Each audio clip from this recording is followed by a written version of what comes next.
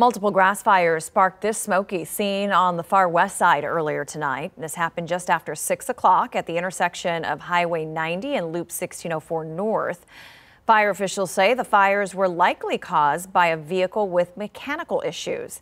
Several fire crews were able to contain the flames. There were no reports of any injuries.